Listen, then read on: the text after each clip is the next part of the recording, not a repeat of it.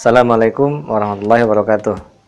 Kali ini kita akan belajar dan sama-sama belajar bagaimana sebenarnya Google Form bisa kita siasati, bisa kita kreasi langsung di copy pastekan ke Ambuso analisis butir soal sehingga nanti ketika kita menginputkan data siswa ke Ambuso bisa langsung memakai data dari Google Form dari spreadsheet yang sudah kita miliki hasil dari jawaban anak-anak. Bagaimana tutorialnya? Silakan diikuti sampai akhir. Selamat belajar. Semoga sukses dan sehat selalu. Terima kasih.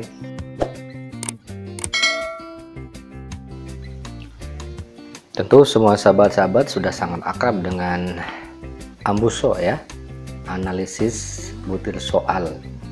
Yang aplikasi ini aplikasi dalam bentuk Excel ya. Nah pertanyaan kita adalah bagaimana di zaman ini kan pembelajaran dan evaluasi yang kita laksanakan lebih cenderung evaluasinya berbentuk online. Online menggunakan menggunakan Google Form. Nah memang di Google Form itu nanti kita juga ada analisis ada hasil analisis dari pekerjaan siswa akan tetapi mungkin tidak tidak selengkap uh, seperti ambuso yang uh, kita kita biasa kita biasa laksanakan gitu kan?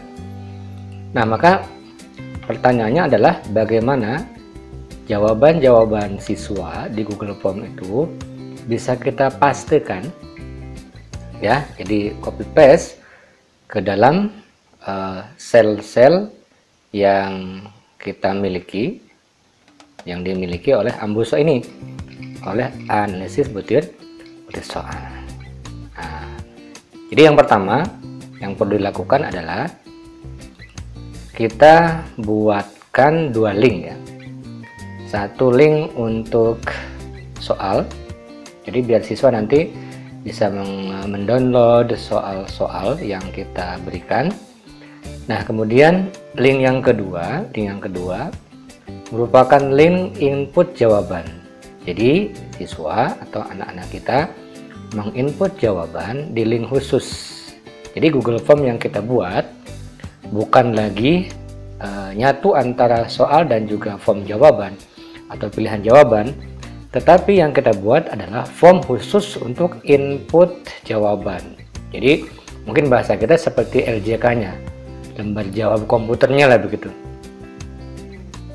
Nah, sehingga ini sangat-sangat mudah, sangat sederhana. Ini juga merupakan hanya merupakan trik saja supaya kita bisa menginput uh, jawaban siswa ke ke Ambuso.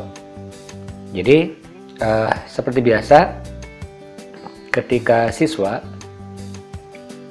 menginput jawaban mereka di Google Form, nah maka form-form yang kita kreasi ini yang penting di samping tentunya ada nama, ada kelas, ada nomor absen. Nah, yang penting dari itu adalah ini bagian pentingnya, bagian akhirnya adalah siswa harus menginput jawaban. Nah, tanpa spasi, tanpa spasi. Jadi langsung langsung siswa menginput jawaban tanpa harus memakai memakai spasi. Misalnya di input saja A, B, D, C, A dan seterusnya.